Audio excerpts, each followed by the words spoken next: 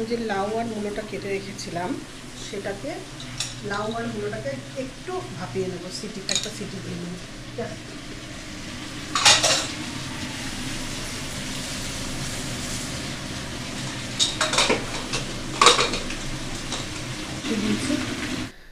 আমি সকালবেলা মটর ডাল ভিজিয়ে রেখেছিলাম, সেই ডালটা সিদ্ধ করে প্রেশারে সিদ্ধ করে নিলাম।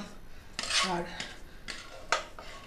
মূলো লাউ যে ভাপিয়ে নিয়েছিলাম, সেটাও আমি রেখেছি এবার সেটা দিয়ে সম্বার দেবো ডালে তার সাথে একটু ধনে পাতা।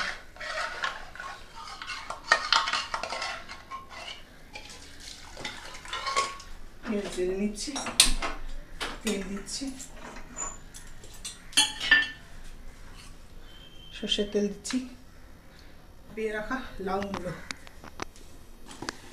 আর ধনে পাতা। মিশছি এবার ডালটাকে একটু কাটা করে নেব।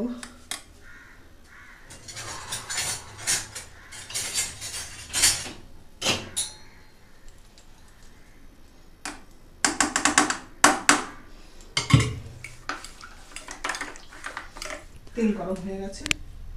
তেলের মধ্যে শুকনো লঙ্কা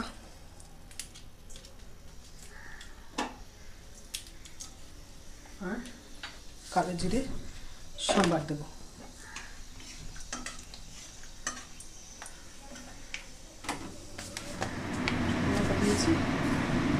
কালো জিরে সম্বার দিলাম।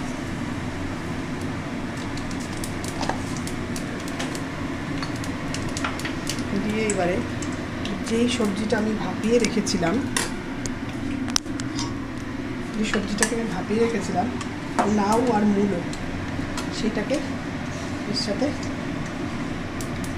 একটু ভাজি ভাজি করে নেব। সামান্য একটু।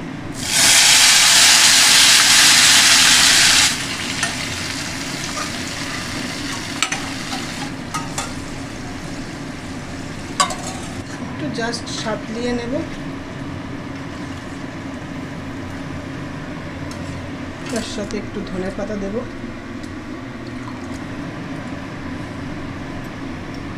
বা নুন স্বাদ মতো আর একটু হলুদ দিয়ে দিলাম দিয়ে এবার ডালটা দিয়ে দেবো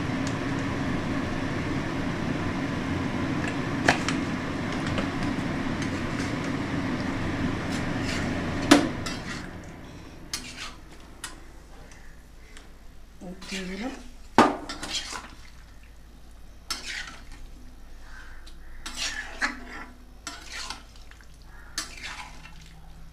ডালটা।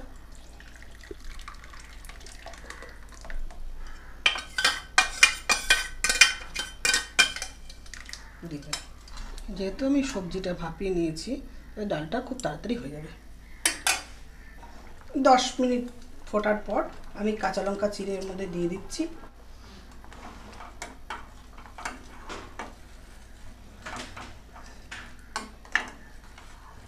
এবার আমি একটা লাউ কেটে দেখব। হয়েছে কিনা। তাহলে অলমোস্ট আমার ধনে পাতা দিয়ে লাউ মূলর মটর ডাল রেডি